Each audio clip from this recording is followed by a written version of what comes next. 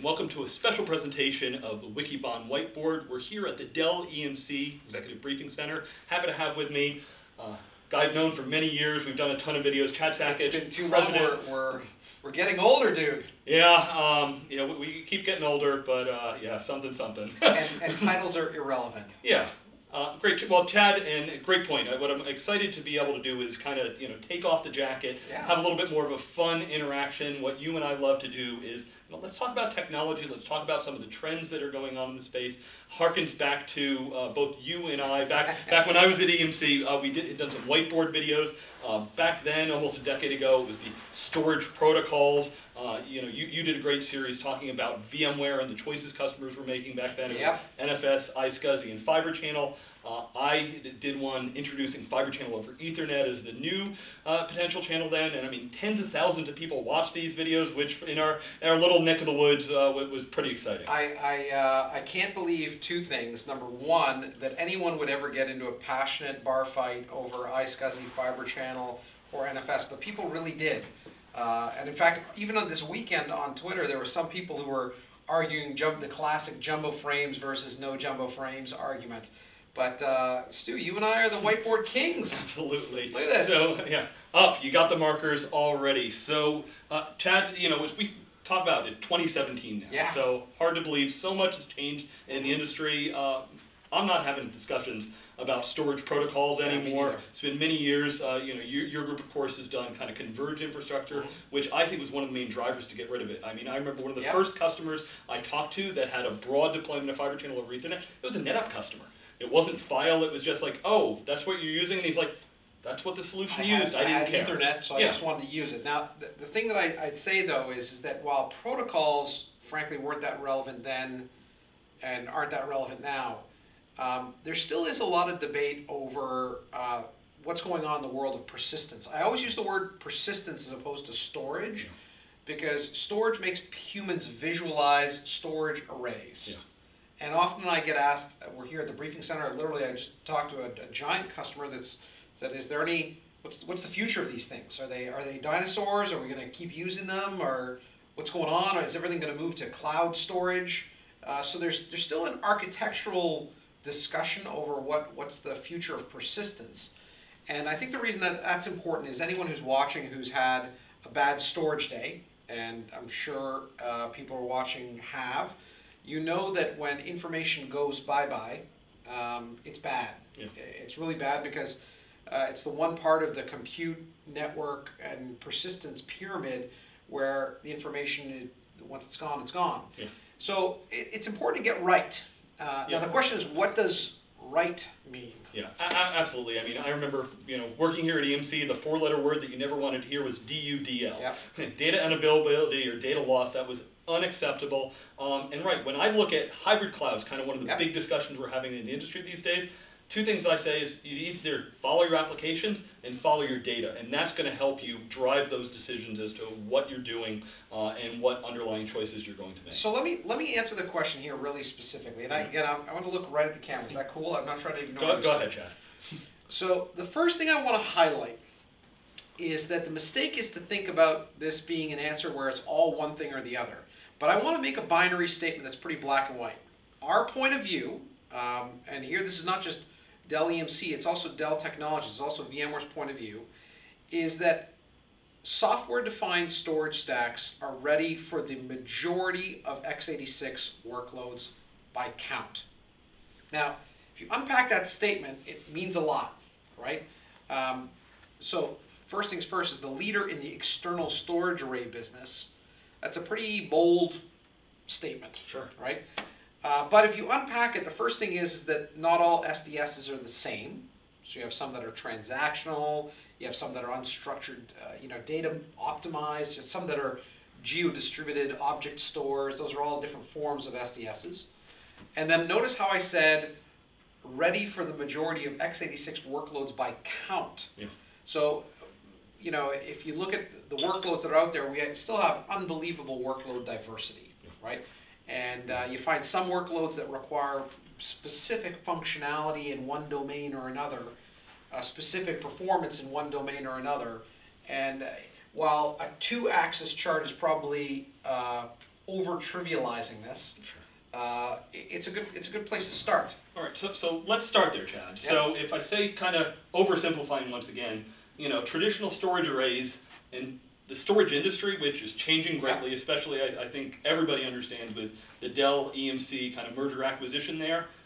Storage industry is going through a lot of changes, No and, and, and therefore there. But if I look at how storage has traditionally been bought, it was bought as storage arrays, and it tended to be higher performance had higher functionality, lower performance had lower functionality. You had kind of SMB, mid-range, and large. This was, you know, kind of, you know, your, your, you know, you know, you know, you know, your traditional storage box. Yep. And there were many pieces in there, so, you know, criticism of EMC would be like, oh, well, you've got four different boxes that make this Yep. up, whether it's, you know, your scale out NAS or your mid range or your tier one or things like that. And today, you know, Chad, where do the, the discussions of all flash arrays, you know, hyper-converged infrastructure, you know, cloud storage fits into this?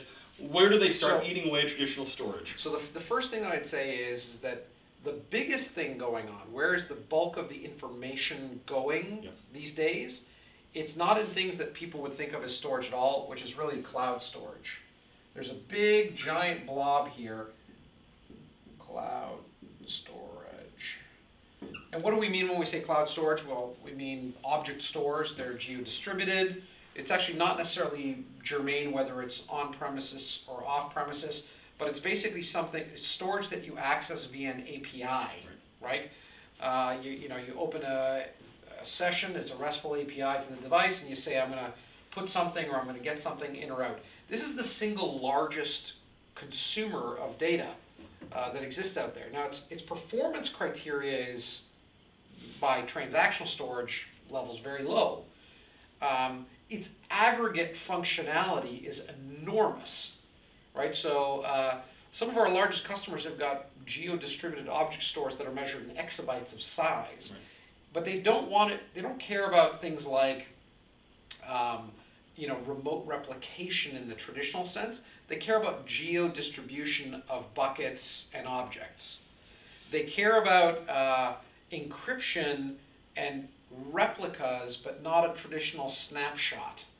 Yeah, and, and there's some really interesting use cases, uh, you know, talking about that uh, at, uh, I was at the Amazon reInvent show Yep. uh, towards the end of 2016, and lots of people, companies that were built to do analytics on kind of the data lakes, Yep. we're seeing more and more that those are happening in clouds, and a lot of that in public clouds, but of course still many going on, you know, hosted, private, you know, whatever you want to call those clouds. Yep. So that's doing there, and even talk about the fragmentation, big discussion by some of the people looking forward as to what's this whole sensor IoT wave going to do because when you talk about just the sheer number of nodes, it's going to be at the edge and therefore it's not going to be at some core, you know, public cloud. And So storage keeps changing and It keeps changing and adapting. I, I would argue my own personal opinion that the IoT thing is going to have a combination of edge, aggregation, and core and cloud storage models.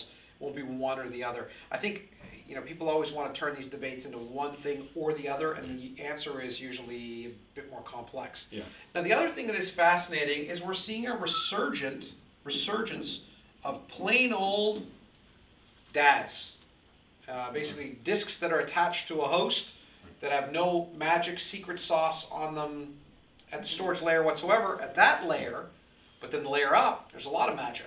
So uh, are you saying that that's hyperconverged infrastructure or you, Nope. you're, you're separating that out? What I'm pointing out is, is that there's certain use cases where the customers are basically saying, uh, I am going to build in the intelligence into the application layer. Yeah. So, for example, uh, you know, the, when you and I first started to work together, man, the amount of customers that would deploy Exchange servers on SANs uh, was enormous. It was the dominant way that you would do it. The only way that you could deploy a, a classic, you know, Microsoft cluster, Right. right? Uh, maybe not the easiest thing in the world, but that's how people did it. If you look at the last few years, the majority of how Microsoft has been deployed is basically Exchange, Exchange DAG, right? So their own distributed availability groups where they're layering on top of just disks inside the server, right? Now, I, no one in their right mind would call that a hyper-converged thing, right? But basically, the, the intelligence is being done higher up inside the application stack. Uh, another example of that is, are obviously customers that uh, deploy uh, Hadoop clusters using HDFS, uh, you know, as the SDS, Right. right? on top of these, uh, you know, simple DAS models. Now, It- does that lead into why we're seeing some of, some of these bare metal offerings to be able to put some of those solutions into, you know, a Rackspace or a public cloud? Yeah, and, and to be able to manage those low-level bare metal things at higher, uh, higher scale means you have to have scalable management models, telemetry, fault, all that sort of jazz, right? Lots of stuff going on there, and a place where we're putting a lot of R and D into VxRack and other things, right? Now, this space here, i- you know, is, is interesting, but then there's, there's another thing going on, which is hot, hot, hot, and everybody's talking about it, which is basically everything that's going on in the all-flash array space, right? Um, you know, the traditional, traditional storage, your blue circle is kind of shrinking. Uh, that market is under compression. But there's parts of that market that are booming, like the all-flash array market is a booming market. Um, it is generally something that customers select because they like low latency, so it's higher in performance than the hybrids, certainly. Um, but the bigger issue, the bigger driver is very simple performance. So performance that doesn't require uh, tiering, doesn't require caching mechanisms. It's basically, uh, I did a blog post on this where I said it's like the IQ test. Right. Right? You know, if something is faster, simpler, easier, easier, and less expensive, why wouldn't you do it? Absolutely, and what we've seen at Wikibon, while the price of flash, you know, compared to disk has come down, when you talk about some of the, uh, you know, things like compression and dedupe and everything else like that, the, the price gets close enough that, say, service providers or certain large companies often will say the operational simplicity of just deploying all flash is enough to make up for any economical difference, and therefore, we're gonna go all flash, whether that's an AFA architecture or buying some other box, uh, and just putting it all flash and just getting And disks out of the environment. And we'll get to that one in a second, Yeah. which is kind of like what's going on around the SDS Yeah. space, right? But there's another, there's another interesting one up here, which is a weird little like bloop, you know, which is which is PCIe. And and that's attached- NVMe for those that can't read at, at- this distance. Yeah, so non-volatile memory uh, of all sorts of types. Uh, lots of interesting stuff going on. You know, 2017 will be the first time that Intel Optane and, and XPoint, you know, start to arrive in the market. Right, and, and for people that haven't looked at it, this means that we're getting really close to the compute. It's the compute and the memory storage layer that's kind of blurring, and rather than having some external box, this is something that's real close, and we're gonna have NVMe-F or NVMe-F, I think they call it, is the fabric versions of Right, that, uh, which is kind of new versions of, uh, yeah, So- of, of networking storage. Non-volatile memory types, you know, exist in all forms. So the first example that you point out is basically where you're directly attaching it to the local PCIe bus of the host, right? Um, it'll actually show up in two forms. One of which will be, you know, a, a disk device, not a disk device, but a persistence device. Right. The other one that will be interesting this year will where where it'll show up and it'll interface via memory semantics. Right. So it'll look like a DIMM, right? But it'll be a DIMM that even if you shut off the power, the data still stays persistent. So it'll take a little Yeah, while and, for and, that. and- and hence why you're saying persistence rather than storage, Right. because our tr- previous definitions of memory and storage are starting to blur. They're becoming very blurred, Yeah. right? So, um, and then there is an NVMe OF, Right. so NVMe over a fabric, uh, which is a standard uh, that is emergent.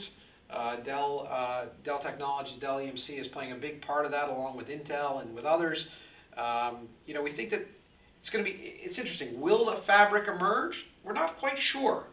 Just to, to- you know, and again, anyone who thinks that you know your vendor ecosystem, your partners have got all of this stuff all figured out, that's not how it works. Like you invest in multiple areas and you see how things go. So obviously, when you've got uh, non-volatile memory, attaching it because it's so low latency, it's so high performance, attaching it directly to the host, bringing it directly adjacent to compute makes a lot of sense. But then at the same time, it's a bit of an esoteric, high-end, expensive thing, and pooling and aggregating things that are expensive also makes sense. Yeah, the only thing I'd say, at least we have in some of the early deployments, functionality might be a little bit less than some of these boxes, but right, it's super high performance, kind of a, a niche inside this market, and the smaller, as we always say, kind of that, that tip of the pyramid where Yep. some of these really, really big companies are doing it. As you said, Intel yourselves and others are doing it. Uh, I know Wikibon CTO David Floyer, Yep. when he's looked at the options out there, that NVMe, NVMe over Fabric, he's quite bullish on it. So, so, yeah, and, and in terms of the feature set, the all-flash arrays, whether it's rich remote replication, whether it's deduplication, compression, uh, unbelievable snapshot capabilities, at this point, for the most part, they match the traditional storage, you know, circle in this weird Venn diagram, um, you know, covering the, the functionality, but always in this higher end of the performance band. Now, the part of this world that I find personally the most interesting right. is, I wish I had a different color. Let me, let me Here, grab you one. blue? Uh, you know what, I'm gonna grab a green. Go ahead. Um, so there's a circle which is surprisingly broad. I know this is a little bit different than your guys' point of view of this circle. Well, if you're looking at a diagram we drew three years ago, This is the, the world of software-defined storage Right. models. And software-defined storage models comes in multiple different ways of consuming it, right? There's just getting it as software. So here's the bits, deploy them on whatever you want, including things that use NVMe inside hosts, and it turns it into some sort of form of shared storage, right?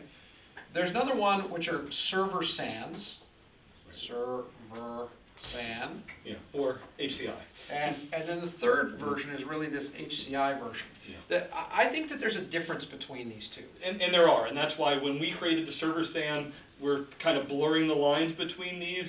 What the, the, the big piece is, a software-only SDS could be only storage. Yes. Server SAN, we've tried to say really it's compute and storage Yep. together, which things like up here, that could fall under. David Floyer Yep. did one, he called it Flash's memory extension, versus HCI, a lot of people thought, oh, it's just an appliance, it's a box, and we were trying to go beyond Yeah. that. So the thing that's fascinating is is the the this market is much smaller than the all flash market. So if the traditional storage market is let's call it seven billion dollars, billion dollars, you know, the all flash array market these days would probably I'm saying this off the top of my head, I'd say it's probably what a seven billion dollar market Sounds about right. rapidly growing, so it's cannibalizing a lot of the hybrids that are out there. This SDS market in all three of these forms is still much smaller than that. But remember my first comment, which is that our belief is that today, SDS models, regardless of which one of these forms of packaging that you use it in, can support the majority of workloads today, whether it's in this performance dimension or whether it's inside this functionality dimension. Yeah, and, and when you say much smaller, it's about half the size. It's not like it's Yeah. a tenth of the size of it. Converged infrastructure is bigger than AFAs. Yep. That HCI, everything else like that, So- it's in the few billion Yeah, dollars, but it's not, you know, five to ten. So, so the thing that's fascinating is the reason that customers go this software-defined storage route, at least in my experience, the biggest single reason is it's simpler and easier for them to deploy, scale, lifecycle, manage, migrate. Right. And not a little bit easier, a lot, right? Um, the second reason is, is that fundamentally the, the scaling model is so simple. So again, whether it's software only or server SAN HCI model where you're getting the, the components together, you know, literally the, the process of uh, expansion is not, I'm going to add something new, I'm going to need to figure out how to integrate it. It's attach. Well, yeah, And grow. it, it's the, the line I heard once is the first time you deploy this is the last time you need to do a migration. Yep. Because as anybody that's been in the storage industry knows, it's that migration time, Yep. cost, effort is so difficult. Now, people then ask, well, Chad, if you're saying this so emphatically, uh, then does that mean that there's no room for CI or traditional array architectures? And the answer is, well, first things first, even if today, right today, all workloads could run on it, it would take time for customers and industry to shift and to move. Uh, we think that we have a responsibility actually to push the industry to, to, to go and say, you can move forward with confidence. This is no longer, you know, something weird or esoteric. This is something that we as a, one of the leaders uh, uh, in this space, we're saying it, it's time to, it's time to move. Now, there's a subset of this blue circle of functionality that the SDSs don't have. So people are like, well, what do you mean? I'm like, well, if you came to me and you said I have a workload that needs to have 10,000 synchronous replicas, um, and you need to be able to do a failover or have a three-site failover behavior and be able to do uh, a failover in a fraction of a second. Um, my comment would be, one, you should try to build that sort of availability in your application, not your infrastructure. And then the customer would go, yeah, I don't have that choice because this is an application that's been developed over the last 10, 15 years and there's no way I can re-architect the app. That's the domain of basically all flash arrays or the top part of this traditional storage where things like SRDF and very, very uh, mature replication technologies rule the day. Yeah, and talk a little bit more about from the application side. You know, most applications that I could run in traditional storage can run on the new ones. What about new new applications? How are how are these options you know geared for those those new applications? You know, what you see basically is that for any new application, it gears towards this cloud storage or HDFS type storage models, this or this, right?